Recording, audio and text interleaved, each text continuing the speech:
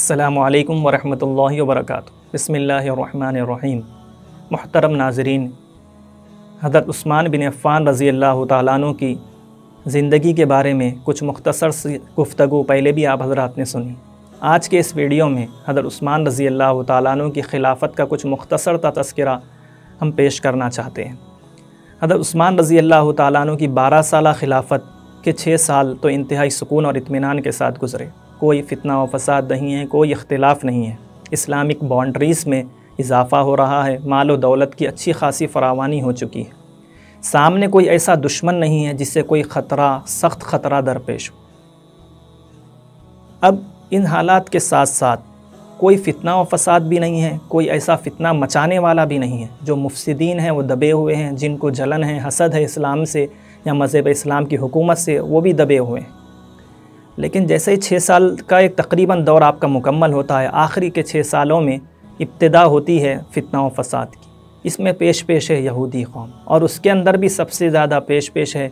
अब जो जो लोग मुफसदीन थे, जो जो लोग फसाद मचाना चाहते थे, जो फितना पर्दाज थे, उन लोगों की ख्याल अलग अलग थे। इनको फिर एक प्लेटफॉर्म पर लाने वाला एक नौ मुस्लिम यहूदी अब्दुल्ला बिन सबा है।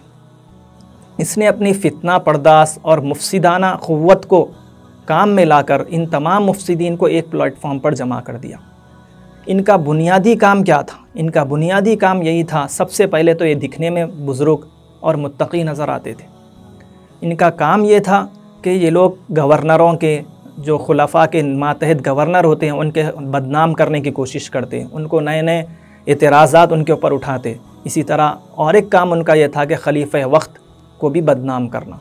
ये दोनों काम वो लेकर चलते थे। एक अच्छी खासी फ़िज़ा उन लोगों ने गवर्नरों के ख़िलाफ़ और खलीफ वक्त, यानी हज़रत उस्मान रज़ी अल्लाह तु के ख़िलाफ़ पैदा करने की कोशिश की।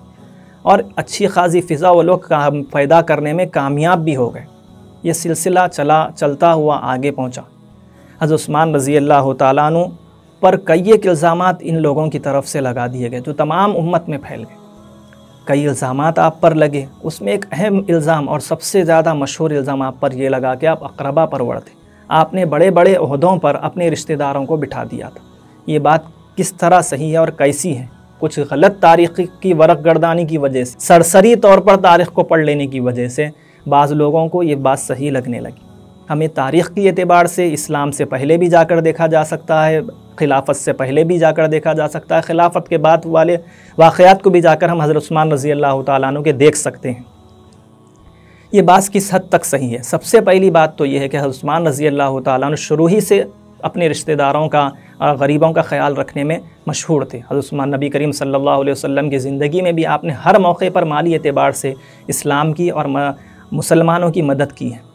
और दूसरी बात यह है कि शेखैन हज़रत अबू बकर व उमर रज़ी अल्लाह तु ने तो अपने रिश्तेदारों को किसी अहदे पर नहीं बिठाया था। हज़रत उस्मान रज़ी अल्लाह तु ने ज़रूरत के वक्त अपने रिश्तेदारों को भी बाज़ अहदे फ़राहम किए। जैसे कि अमर बिन आस रज़ी अल्लाह तु जो मिस्र के गवर्नर थे उनसे कुछ आ, इस्कंदर के लोग इस्कंदरिया के लोगों के बारे में कुछ कोताहियाँ हुई और जो है फिर वो उस तरह मालियात के शोबे को मज़बूत नहीं कर पा रहे थे तो उनकी जगह पर अब्दुल्ला बिन अबी सराह रज़ी अल्लाह तु को आपने मिस्र का गवर्नर मुकर किया। और अब्दुल्ला बिन सराह रज़ी अल्लाह तु भी कोई मामूली शख्स नहीं थे, ये ख़ुद भी एक मशहूर सिपह सालार और माहिर आदमी थे। तो ये उनकी जगह पर एक लगा। ऐसे कई इल्ज़ाम आप पर लगाए लगे, लेकिन हकीकत के अतबार से हम जो देखें तो कोई भी इल्ज़ाम ऐसा नहीं है जो काबिल गिरफ्त हो, जिसके बिना पर आपको कोई आपको कोई गलत शख्स समझा जा सके। और फिर किस तरह हम, आप हज़रत उस्मान रज़ी अल्लाह तु को गलत शख्स समझ सकते हैं? आप असहाब बदर में से हैं, जिनके मुस्तकिल फ़ज़ाइल हैं। आप बैत रिजवान में नबी करीम सल्लल्लाहु अलैहि वसल्लम ने अपने हाथ को आपका हाथ फरमाया। गज़ब तबूक के मौके पर तो नबी करीम सल्लल्लाहु अलैहि वसल्लम ने आपकी सखावत को देखते हुए फरमाया था मादर्रा उस्मान मामिला बादलयम उस्मान को कोई चीज़ नुकसान नहीं पहुँचाएगी आज के बाद। एक मौके पर इसके अलावा कई कई मरतबा जन्नत की बशारतें आप रज़ी अल्लाह तु को मिली हैं। कहीं नबी करीम सल्लल्लाहु अलैहि वसल्लम ने आगे बढ़कर ख़ुद भी ये फरमाया था कि शख्स जुल्मन शहीद होगा और ये शख्स उस दिन हक़ पर होगा। एक मौके पर हज़रत उस्मान रज़ी अल्लाह तु को मुखातब करके फ़रमाया, ए उस्मान, अल्लाह तुम्हें एक कुर्ता ख़मीस पहनाएगा। लोग उसे उतारना चाहेंगे। तुम उसे ना ना उतारना। बात यहीं तक थी तो काफ़ी थी। लेकिन नबी करीम सल्लल्लाहु अलैहि वसल्लम ने आगे फरमाया, अगर लोगों की बातों में आकर तुमने उसे उतार दिया तो तुम जन्नत की खुशबू भी ना पाओगे। मोहतरम नाजरीन, ये फ़ज़ाइल हैं और कई फ़ज़ाइल उस्मान रज़ी अल्लाह तु के इससे पहले के वीडियो में भी कुछ हमने उनमें से ज़िक्र किए हैं। अब एक तरफ़ ये फ़ज़ाइल हैं, उनका मकाम व मरतबा एक मुसलम और एक पक्की चीज़ है। और दूसरी तरफ़ ये तारीख़ी रिवायतें हैं, जिनके ज़रिए से उन पर इल्ज़ाम लगाए। अब हम फ़ैसला हमारे ही हाथ में है कि किसको मज़बूत मन समझा जाए और किस बात पर भरोसा किया जाए, कि कुरान और सुन्नत पर भरोसा किया जाए या तारीख़ी रिवायतों पर, कि तारीख़ी रिवायतों को छान पटक करने में और उनकी तहकीक करने में वो बारीक बीनी का और वो सख्ती का मुजाहरा नहीं किया गया, जैसा कि अहादीस का इंतखब करने में किया गया। तो ये इल्ज़ाम लगाए जाना ही गलत है। फिर अब ये तो एक पस एक सवाल था और उसका जवाब था। दूसरा इस वीडियो के डिस्कशन में जो हमें बहस करना है गुफ्तु करना है, वो ये है कि फिर हज़रत उस्मान रज़ी अल्लाह तु के साथ क्या मामला हुआ?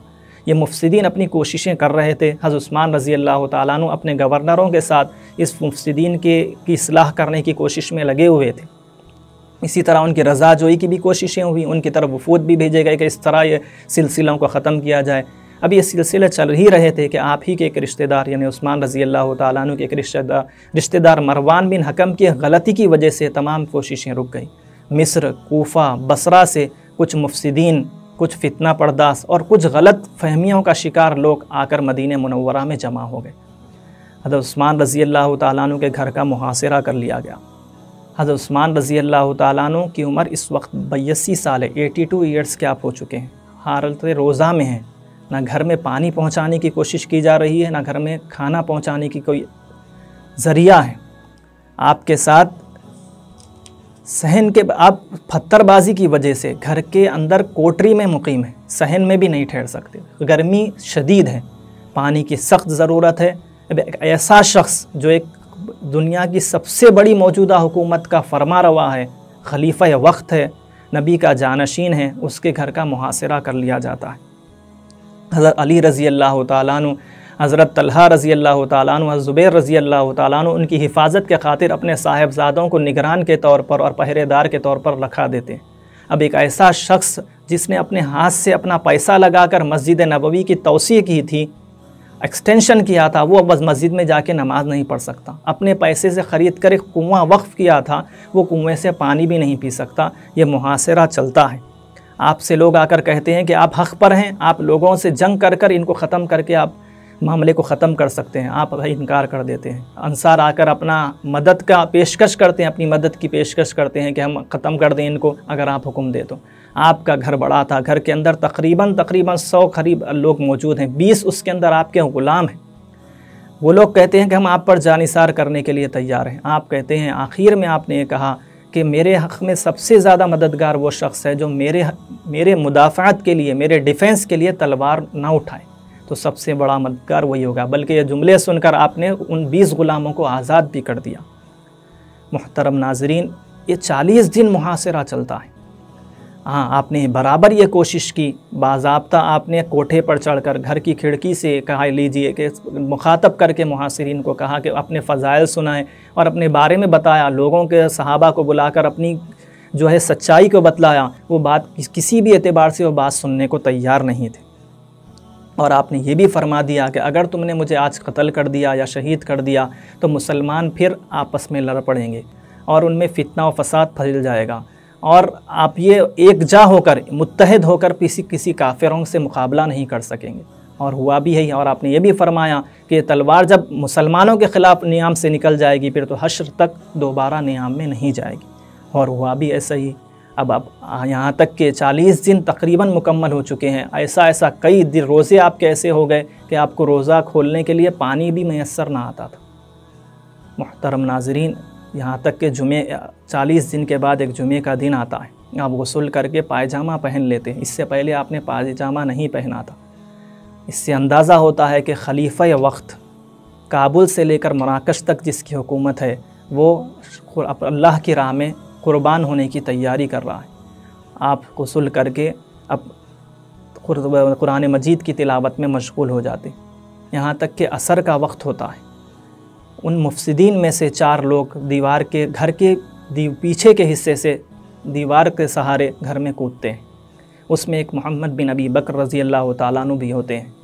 बातचीत के बाद वो पीछे हट जाते हैं, लेकिन बकिया तीन लोग आगे बढ़कर, मिलकर हज़रत उस्मान रज़ी अल्लाह तु को शहीद कर देते खून जब तलवार, जब जिस्म पर मारी जाती है तो खून उछल कर उस कुरान मजीद पर गिरता है जो आप तिलावत में मशगूल थे। और आयत ये थी, जहाँ पर खून गिरता है फ़स यकफ़ी कहमल्ला वह समीम कि अल्लाह उनके मुकाबले में तुम्हारे लिए काफ़ी है और वो सबसे बेहतरीन सुनने वाला और जानने वाला है।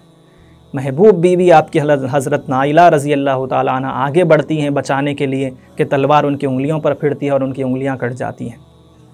फिर वही मुफसदीन कोटे पर चढ़कर, घर के बाला खाने पर चढ़कर ऐलान करते हैं कि अमीर मोमिन शहीद हो गए।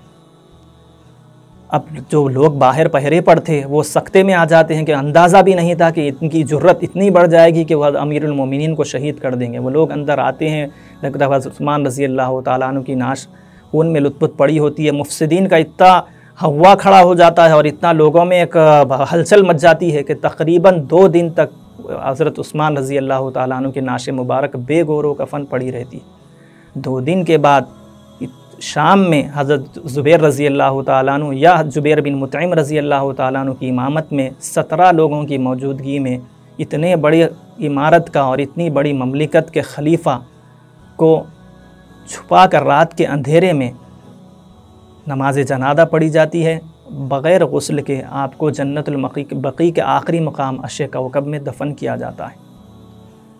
मोहतरम नाजरीन, एक बड़ा दर्दनाक वाक़ है और ऐसी शहादत जो इसका बहुत ज़्यादा नुकसान इस्लामी ममलिकत को और इस्लामी तारीख़ को हुआ है। यजीद बिन हबीब ताबड़ी हैं, कहते हैं कि हज़रत उस्मान रज़ी अल्लाह तु की शहादत जो जो हुई और उसमें शिरकत करने वाले जो लोग थे, मिस्र से जो लोग बगावत करके यहाँ पर आए थे, उनमें से कोई एक भी ऐसा नहीं बचा था जो मजनू नहीं हो गया हो। हज़रत अबू रिरा रज़ी अल्लाह तु कहते हैं कि, सब लोगों को तो हज़रत उस्मान रज़ी अल्लाह तु की शहादत का एक गम है, मुझे दो गम है। एक गम हज़रत उस्मान रज़ी अल्लाह तु की शहादत का है और दूसरा गम उस खजूर की थैली के चले जाने का है जो नबी करीम सल्लल्लाहु अलैहि वसल्लम ने मुझे दी थी, जिसमें खजूर, थैली में खजूरें भरी हुई होती थी। आप उनमें से ख़ुद भी मैं कहते हैं कि मैंने बेहिसाब खजूरें उसमें से खाई हैं और कई खजूरों को, लोगों को अल्लाह की राह में तकसीम किया है। जैसे ही हज़रत उस्मान रज़ी अल्लाह तु की शहादत हुई, वो थैली गायब हो गई। पता चला कि बरक़ात नबूत हज़रत उस्मान रज़ी अल्लाह तु की शहादत से ख़त्म हो गए। फिर ये भी हम जानते हैं कि उसके बाद फिर कोई ऐसा वक्त नहीं आया कि पूरे मुसलमान मुतहद होकर एक इमाम के पीछे खड़े हुए हों। ऐसा वक्त आया, यकीनन ऐसा आया कि उतना, लेकिन फिर भी इख्तलाफात लोगों के अंदर मौजूद थे, जैसा एक खलीफा और एक इमाम कोई इख्तलाफ ना हो, ऐसा दौर दुनिया ने नहीं देखा। मोहतरम नाजरीन, उस्मान रज़ी अल्लाह तु ने शहादत दी अपनी ज़िंदगी को क़ुरबान किया अल्लाह के नबी के हुक्म पर और हक़ बात पर क़ायम रहने पर। अल्लाह तबार ताली समझने और अमल करने की तोफ़ी ख़ता फ़रमाएँ। आखिर में दरख्वास्त ये है कि वीडियो को लाइक करें, शेयर करें और हमारे चैनल ज़्यादा मुस्लिम को सब्सक्राइब करें। जजाकम्ला खैर